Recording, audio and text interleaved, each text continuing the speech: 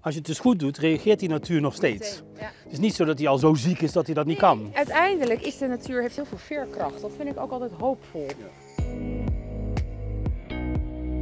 Ik ben hier vanmiddag in de Ooipolder, eh, vlakbij Nijmegen.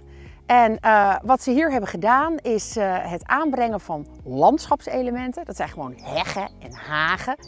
Je hebt toch perceelsafbakening nodig, of het nou een prikkeldraad is, of het is een weg, of het is een sloot. Nou, waarom zou je die dan niet vergroenen? Bijna alle boeren werken mee. Het maakt ook niet uit of je gangbaar bent of biologisch. Boeren konden zelf beslissen ja, waar welke heg eh, geplant wordt. Goeiedag, hallo. Christiane, Dag Christiane, Johan. Ja. Goeie, hallo.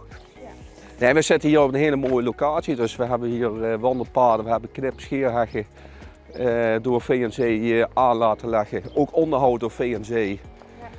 Ja, in vijf jaar tijd eh, van de tekentafel naar het echt hebben we dus eh, 45 kilometer landschapselementen aangelegd, kriskras door dat gebied.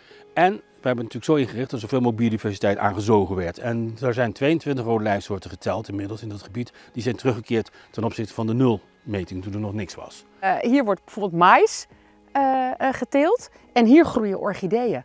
Eh, ja, dat, dat is echt, echt heel bijzonder. Maar goed, ik sprak ook boer Johan, eh, ook hier in het gebied. En die doet mee, want zijn vrouw is een koffiehuisje begonnen. En omdat langs heel veel heggen ook wandelpaden zijn, zie je dat er heel veel toerisme hier naartoe komt. En je zit heel kort bij de stad, hè? dus, dus eh, vergeet dat niet. Je zit bij het 10 minuten centrum zit je, zit je in Nijmegen.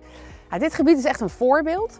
Eh, en we hebben in het Nationaal Programma Landelijk Gebied eh, voor de stikstofaanpak en voor de natuurherstel hebben we ook een doel. En dat is dat we 10% groene en blauwe dooradering willen vanuit alle gebieden, ook vanuit agrarische gebieden. En dat, eh, ja, daar is dit een heel mooi voorbeeld van.